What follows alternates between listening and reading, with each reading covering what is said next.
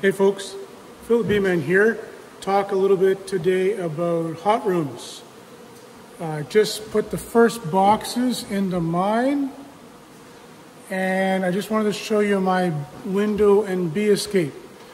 Commercial beekeepers are always playing the law of large numbers, no matter how diligent you are.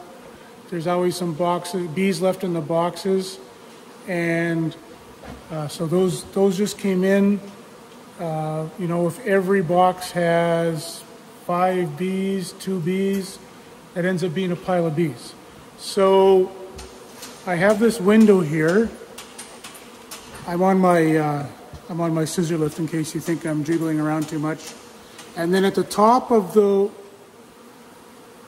top of the window, I put in it's a very tall window. The bees like to, to walk up.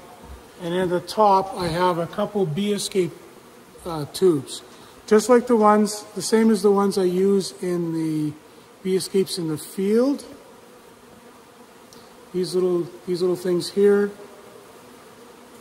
can see, yeah, it's not clogged up. Okay, you can see right through. And uh, so, uh, middle one's missing at the moment, so I got it taped over. But on the outside, you can see the bees, and I'll flip the camera around. Let's watch how that works.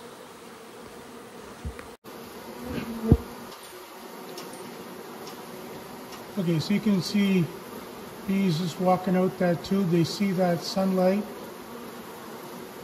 And this window faces so it gets morning light. Uh, there's two more gone.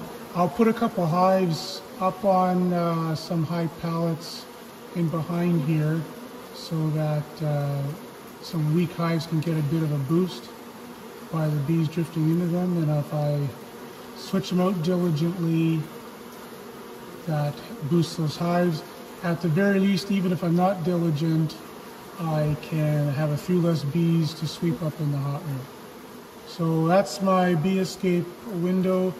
Uh, and also, the, just having the natural light will draw the bees out of the supers in a way that makes it a bit better for my extracting fruit. All right, that's it for today. Thanks a lot.